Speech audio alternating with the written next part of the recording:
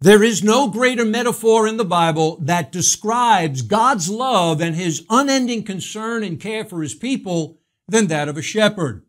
In describing the ministry of Jesus, Matthew states in his gospel that Jesus literally went everywhere uh, to minister to people, teaching, preaching, and healing all that were sick in cities and villages, in synagogues and homes, on mountains, and even by the seashore. There was no place where Jesus would not go. Why? Well, because that's where the people were.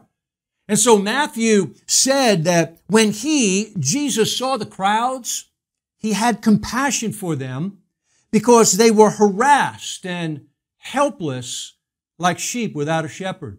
You see, Matthew wanted us to know that Jesus is very aware that life is sometimes hard and unforgiving. And so Jesus was moved with compassion because he wants to bring rescue on every level to redeem, to lead, to feed, to guide, to protect, and to care.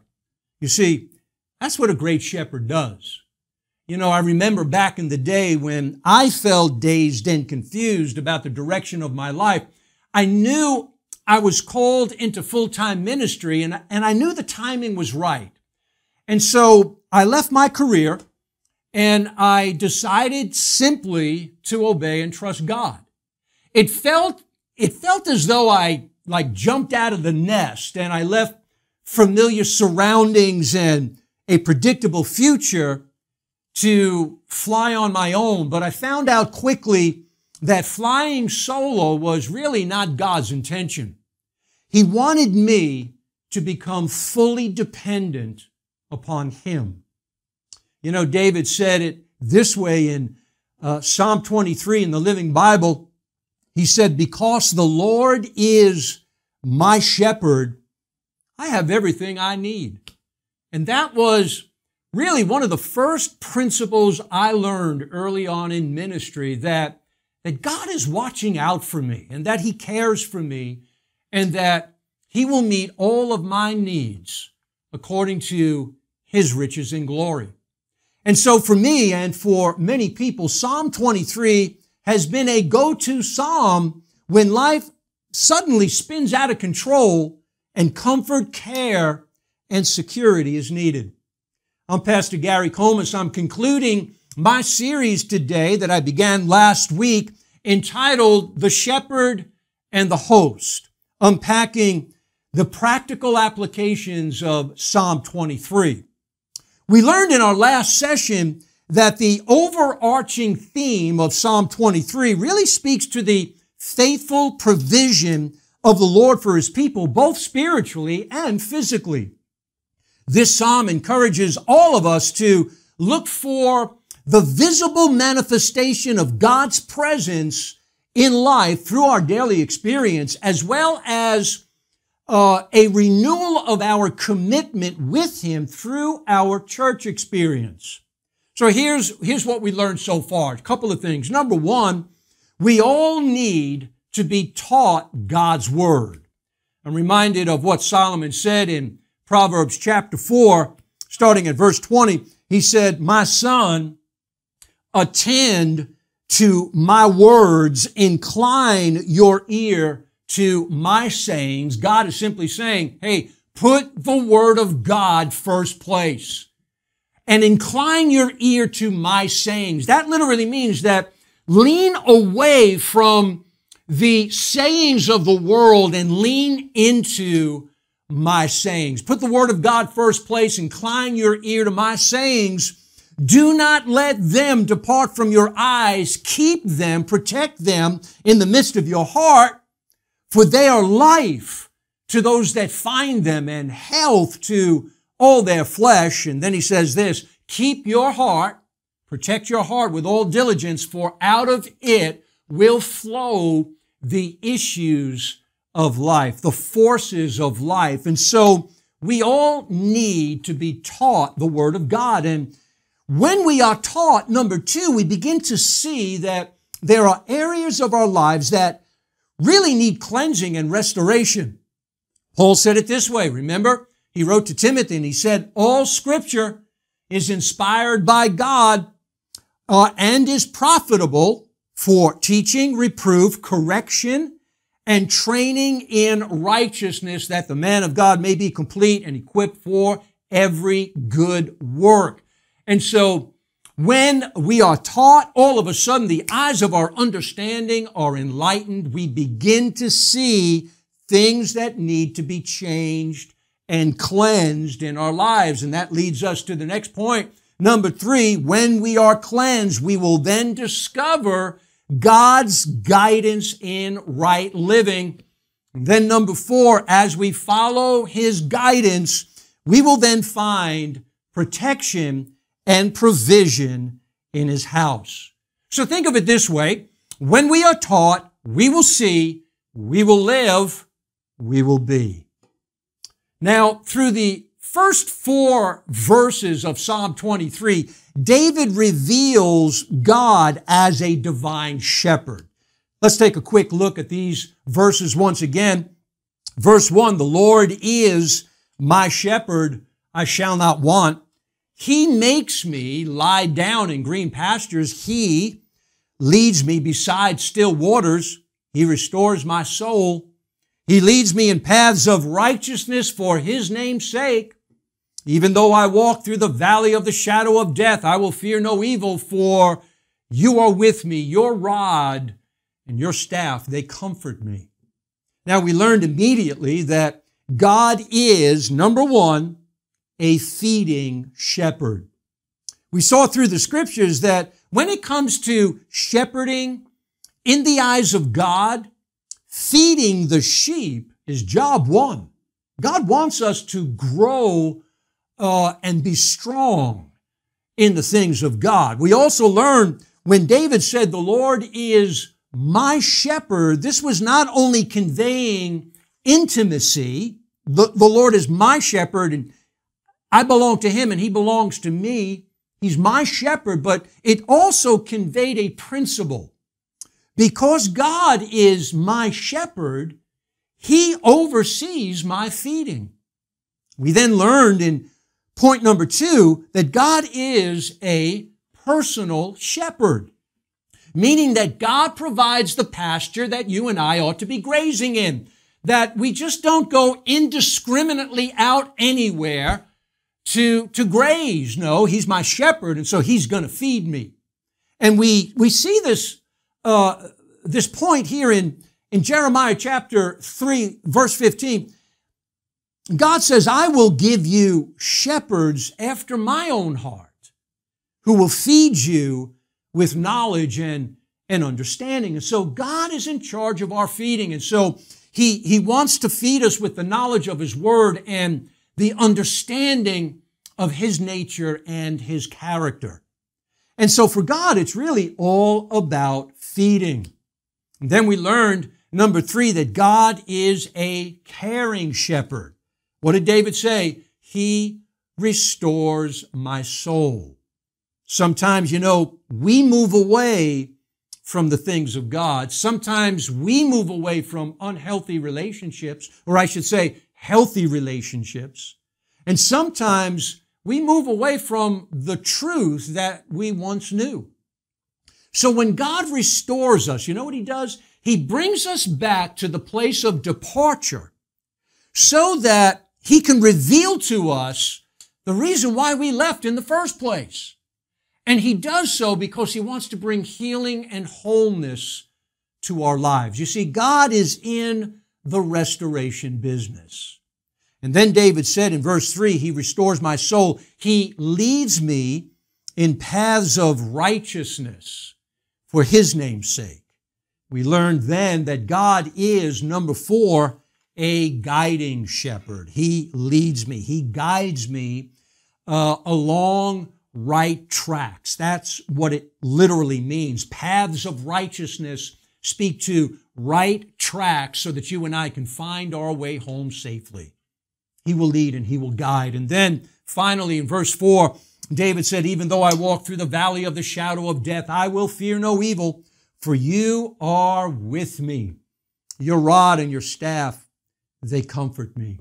Here we see God as a protecting shepherd. David is showing us that the Lord will always intervene in the circumstances of life and really offer his protection as well as his provision. He does so because he is our shepherd. That's what shepherds do. The Lord is our shepherd. Now, let's move ahead to uh, some new content. Let's take a look at verse 5. All of a sudden, the scene changes from the pasture to the banquet hall and the image of God from the shepherd to the gracious host. So, verse 5 You prepare a table before me in the presence of my enemies. You anoint my head with oil, my cup overflows. So the first thing we see is that God is, number one, a gracious host, and we are his honored guest. But I have a question. Where is this meal taking place? And where do the guests gather? Well, the answer, of course, is in God's house, right? I mean, God is the host. Uh, he's preparing his table. His table is in his house, right? I mean, you know, if you're inviting me to your table to have a meal with you and your family, my next question is, is where do you live? Right? Your table is in your house. My table is in my house. God's table is in his house. By presenting it in this way, you know what David does? He helps us answer the important question. Why should I go to the house of God? Now, look, we need to answer this question, especially in today's culture and society, because going to the house of God is devalued today. Many people, unfortunately, dismiss the importance of going to the house of God. And so we need to answer this question for several reasons. Number one, because you need to settle the issue. Do you go out of obligation? Do you go to the house of God to make someone else happy? Uh, do you go to the house of God to meet people? You, you, you got to answer the question why do I go to the house of God? Because, number two, there are many things that compete for your time. I mean, you can use this time on a Sunday morning to sleep, right? I mean, you don't have to come to church and sleep in my service. right? Go home, sleep, relax, and you can, there's a lot of things that compete for your time. You can do a number of good things on a Sunday morning. Why do you go to the house of God? You need to answer the question because uh, culture and society today tend to dismiss your presence here because attending church is frowned upon by some because attending church somehow labels you by society and because attending church somehow challenges who you are in culture today. So you need to have a solid answer to the question, why do I go to the house of God? So let me provide for all of us uh, a concrete answer uh, from the scriptures uh, to remind us why it really is important to physically attend the house of God. I'm just going to share three verses. Uh, there are many that really speak to this issue, but I just want to share three. We begin with Isaiah chapter 2 and verse 3. So the prophet says, and many people shall come and say, come, let us go up to the mountain of the Lord, to the house of the God of Jacob, that, here it is, that he may teach us his ways so that we may walk in his paths. Here's another one in Psalm 27 in verse 4. Uh, David says this, one thing have I asked of the Lord, that will I seek after, that I may dwell in the house of the Lord all the days of my life. Well, why? To gaze upon the beauty of the Lord and to inquire in his temple. Here's one more. Psalm 63 verses 1 and 2, David once again says this, Oh God, you are my God. Sounds like Psalm 23, Oh Lord, you are my shepherd. Oh God, you are my God. Earnestly, diligently, early, I seek you. My soul thirsts for you. My flesh faints for you as in a dry and weary land where there is no water. Look at this. So I have looked upon you in the sanctuary. I mean, he's going to the sanctuary and he hungers after the presence of God. Why? Look, beholding your glory and your power. So here's the picture David is painting. God has given each and every one of us an open invitation weekly for all of us to come to his house because he has prepared his table with a meal to feed us as his honored guest. So based on these verses alone, and as I said, there are many more, but based on these verses alone, we can answer the question. I choose to go to the house of God because, number one, in his house, he will teach me his ways so that I could walk in his paths. Number two, in his house, I can gaze upon the beauty of the Lord. I mean, you're getting enveloped in his presence. Gaze upon his beauty and to inquire of God direction for my life. And number three, in his house, I can behold his power and his glory and become actively engaged within a community of faith. I mean, think about it. We go to God's house. I want to, I want to not only see a demonstration of God's power as he begins to transform lives. I want to experience transformation in my own life to, to experience the anointing of God through the teaching and the preaching of His Word, through awesome worship where we're not only worshiping alone somewhere, someplace, you know, we're together with the family of God, the body of Christ, where we come together, we pray together, uh, we encourage one another in the Word, we love one another. Why? We are a family. Didn't Jesus say it this way? A house divided cannot stand. No, no, no, no. We need to come together on a consistent basis. That's why I go to the house of God. And that's why the writer of Hebrews said it this way, do not forsake the assembling of yourselves together. Somebody else made this point this way. They said when you leave church on Sunday, you go to your car and you make your way home, or maybe you visit family or friends, or you go out to eat. As you drive, you will deplete the reserve of gas in your tank. You don't have to be a bad person for your car to go from full to empty. You just have to use your car. Many times when people leave church, they are spiritually full because of the time that they spent worshiping God and hearing the Word of God, experiencing God's Spirit, fellowshipping with other believers.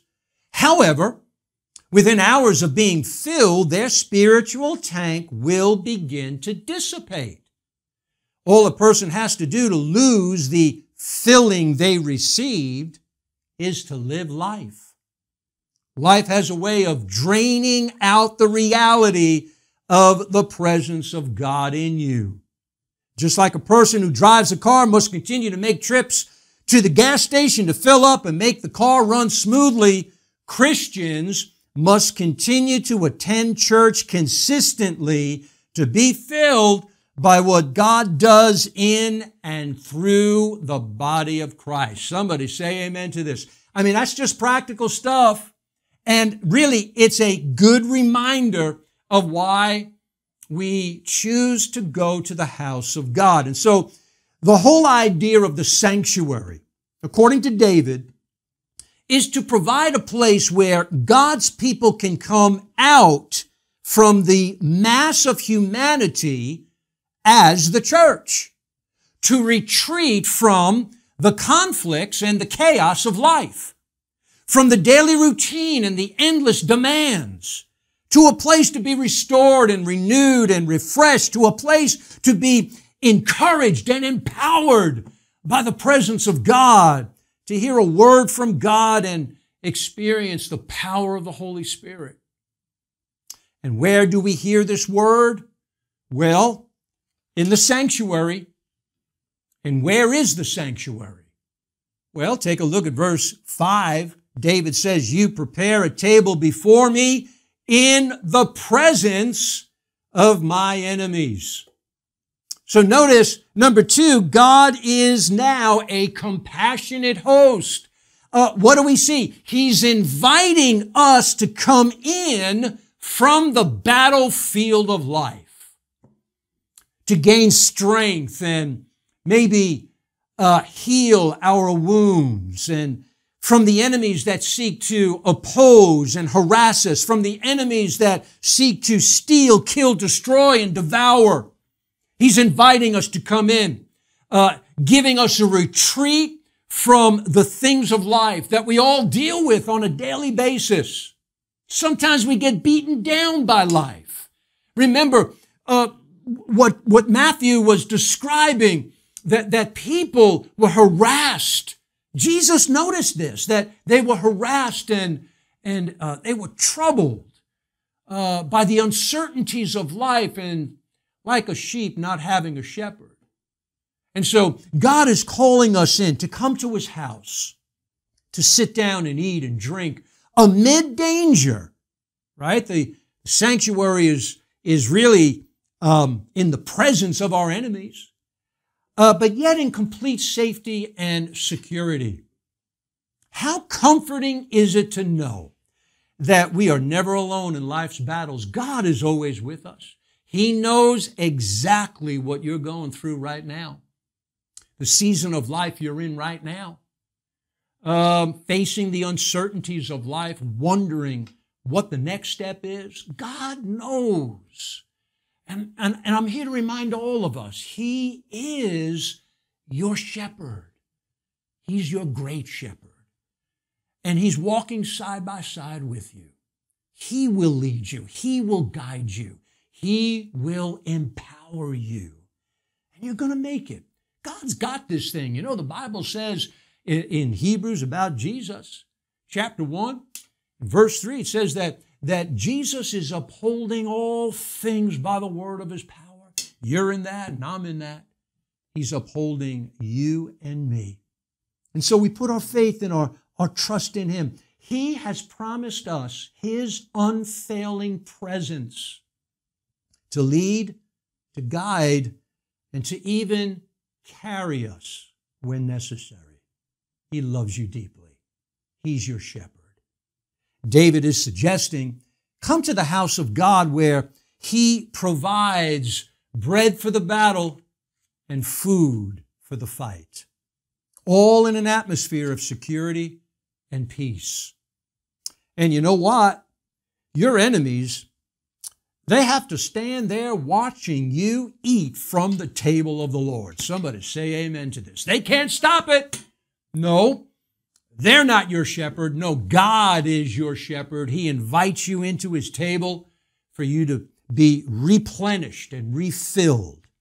Now, for those who have been invited to God's banquet to eat from his table, but do not come consistently, usually stay away, not because they don't love God, not because they don't love God's people, family of God, but simply because they may no longer be hungry. I mean, hungry for the teaching of God's word, hungry for his presence, hungry for training in righteousness, challenge and growth, hungry for fellowship with other believers. And the reason why they may not be hungry is because, well, they could be full of other things. Uh, have you ever ruined your appetite for a good meal because you ate junk all day? I think we can all shake our head to that, right? We've done that. We've been there, right? So, what do we do? We need to, we must learn to value, protect, and guard our place at the table of God. by not indulging ourselves with things that either waste our time, distract us, or draw us away from his table.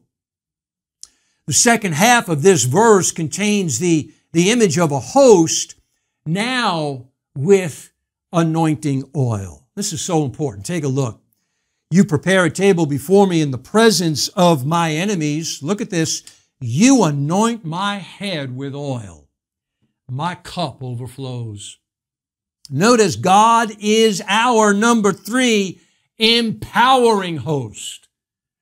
Here, David is referring to the custom that it was the duty and delight of the gracious, gracious host back in the day to give uh, the guest scented perfumed oil to freshen up, especially after being out in the world exposed to the elements.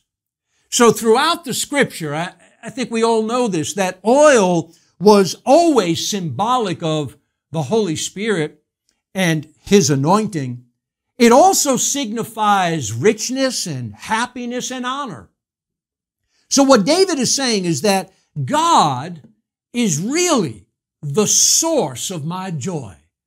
I mean, He's the source of all that I am and all that I hope to be. He's the source of my happiness, my honor. David is saying he's the source of my success, who provides for my comfort and refreshment and, and guidance and, and the empowerment that we need from the Holy Spirit. God is the source of all of this.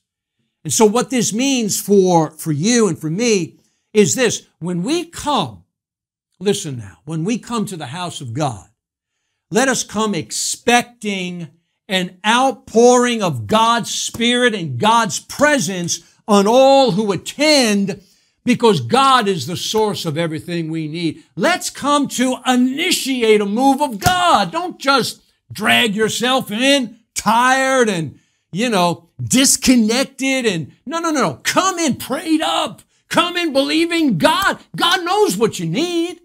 He knows what we all need. And we come and we offer to God our worship and our faith and our love. And, and let's believe God for an outpouring of, of His anointing to, to break every yoke of bondage that we may be experiencing or others may be experiencing. I mean, God, there are needs every time you come to church because the church is filled with people, uh, needs are present. And God wants to meet those needs. So let's come expecting the power of God to move, the anointing of God. You know how, how important the anointing of God is? In Isaiah chapter 10, verse 27, it says that the burden will be removed and the yoke of bondage will be destroyed because of God's anointing. Say, say amen to this. I mean, this is powerful stuff. Let's come believing God for transformation and change in our lives. Amen. David then says this in verse 5 You prepare a table before me in the presence of my enemies. You anoint my head with oil. My cup overflows. Notice God is number four, a providing host. In other words, my cup is filled to the brim, to the point where it starts spilling out. And, uh, you know, the Bible um, describes the cup, it's a symbol of one's portion or lot in life.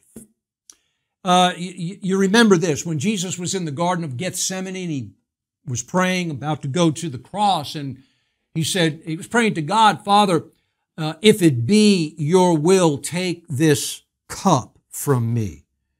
His lot in life his portion was to give his life for each and every one of us to die on the cross. So the, the cup represents our portion in life.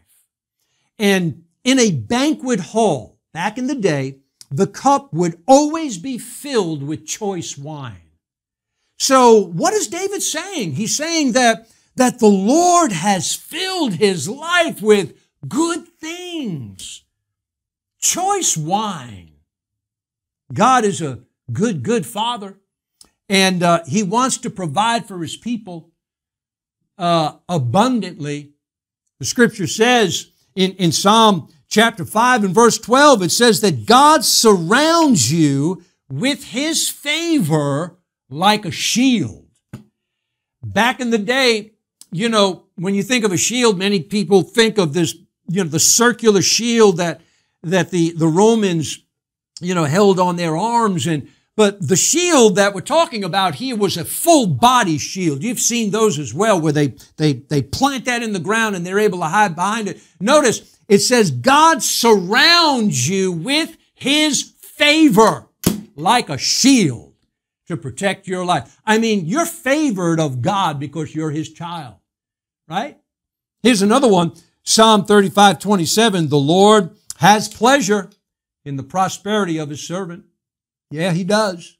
Just like you as a father or a parent, a mother would have pleasure when your child does well. Well, God takes pleasure in the prosperity of his children.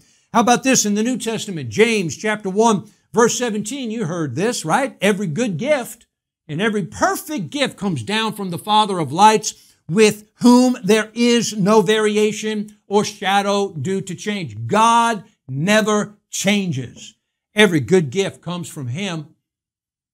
And here's one more, 1 Timothy 6, 17. Speaking of God, Paul says it this way, who richly provides us with everything to enjoy. How many of you know that God really wants you to enjoy life?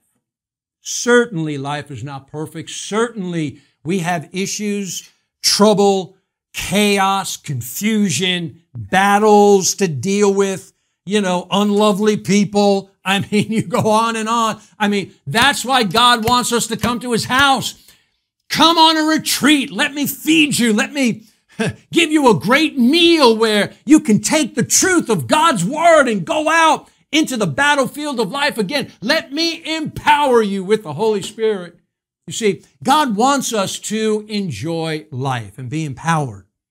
And then, um, uh, this, this idea of the cup overflowing summarizes all that has gone on before, showing the heart and the desire of God to provide your life with abundance. Remember, Jesus said, remember in John chapter, uh, chapter 10, Jesus was talking uh, about himself being the good shepherd.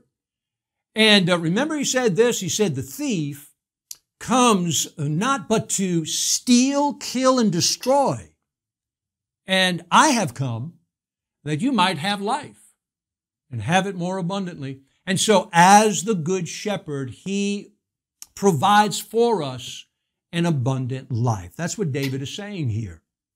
And now we get to verse six, and this marks the conclusion of this psalm. And so he said this, surely goodness and mercy shall follow me all the days of my life, and I shall dwell in the house of the Lord forever. So the focus here you can see is on the provisions of God and continual communion with Him in His house. David speaks of goodness and mercy. Mercy here is translated uh, as loving kindness, steadfast love, and loyal love. The Hebrew word for mercy here is hesed, and it's considered one of the most important in the vocabulary of the Old Testament theology and ethics. And so there are three basic meanings to the word. Number one, strength. Number two, steadfastness. And number three, love.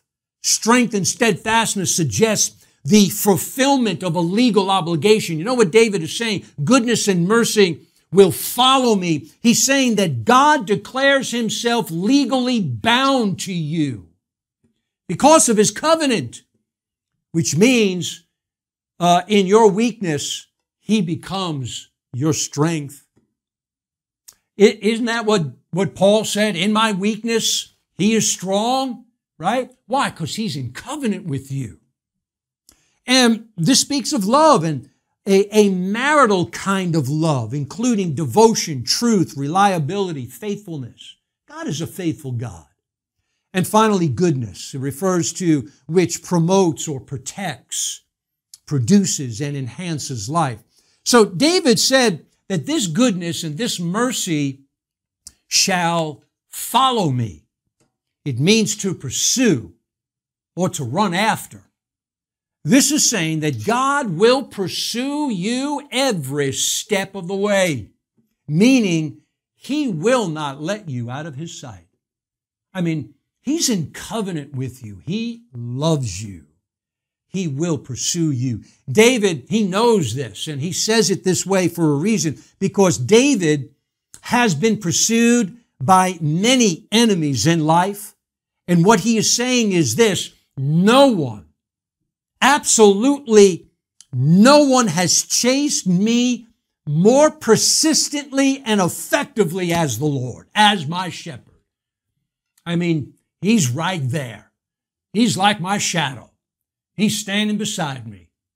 Jesus said it this, this way, I will never leave you nor forsake you.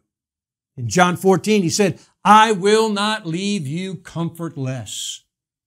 I will come to you. And he did so in the power of the Holy Spirit. So after all of this, what is David's conclusion? Psalm 26, he said, I'm sorry, 23, verse 6, he says, Surely goodness and mercy shall follow me all the days of my life. Here it is. I shall dwell in the house of the Lord forever. He brings us back to God's house. To dwell means to, to abide and to remain.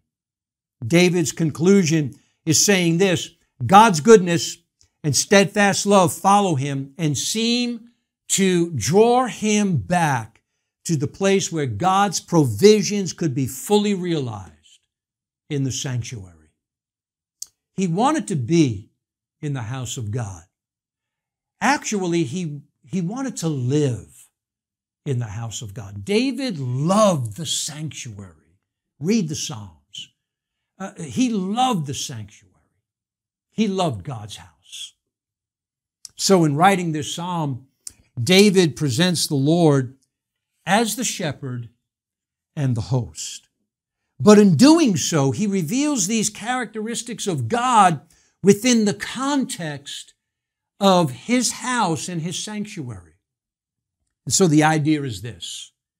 If you want to truly benefit from the Lord being your shepherd and your host, then you must be consistently present in his house. That's the message here. You know, when the Ark of the Covenant was brought back to Solomon's temple, the people of Israel gathered to worship. They went to the sanctuary. In Second Chronicles chapter 5, starting at verse 13, let me read a few verses. And it was the duty of the trumpeters and the singers to make themselves heard in unison in praise and thanksgiving to the Lord. And when the song was raised, the trumpets and cymbals and other musical instruments in praise to the Lord, for he is good, for his steadfast love endures forever. Look at this the house, the house of the Lord was filled with a cloud so that the priest could not stand to minister because of the cloud, for the glory of the Lord filled the house of God. I mean, God showed up. the Bible says that he inhabits the praises of his people. Literally, it means he sits down when we are worshiping, worshiping him in reckless abandon. And notice the glory of God filled the house so much so that everybody fell out under the power of God. The priest could not stand to minister because of God's glory. In the book Revival Praying, the author Leonard Ravenhill suggests faith, faith's supreme longing is for the return of the glory that has departed from the sanctuary. If we today could rediscover, listen to this, the virtue in that name, the victory in that name, the violence in that name, we could set this world alight for God. What a powerful quote. How true is this? if we could come expecting a move of God every time we come to church. Prepared, prayed up, believing God. Come on, we're a body. We know other people have needs, and you may know some of those needs. And maybe you're okay, and maybe you don't have a present need right now. Praise God for it. Well, hey, come praying that, that God will touch your brother and your sister in the Lord. You know what they're going through. Who knows? God may, God may use you to bring assistance to someone else. As we listen to the Word of God being preached and taught and we worship God together, let's believe God for His glory to overwhelm us. Hey, even to the point where we fall out under the power of God. Would you love to see that? On a consistent basis? It can be done. Let's value the house of God. Let's honor God's presence. Um, he's the host. He's the shepherd. He's prepared a meal. Let's come and eat and let's give him glory and honor. And so the house of God, it represents the place of teaching and instruction, the place of fellowship and worship, the place of forgiveness, restoration, and right living, the place of God's protection and provision, the place where the body of Christ abides together in God's presence and fullness. David desires to be in that place. I pray we all have a desire just like David that we're standing before, number one, our gracious host. God is our gracious host. Number two, He's our compassionate host. He calls us in on a consistent basis to come out and retreat from the battles of life. Number three, He is our empowering host. He anoints us with His Spirit and fills us with His Word. And number four, he is our providing host.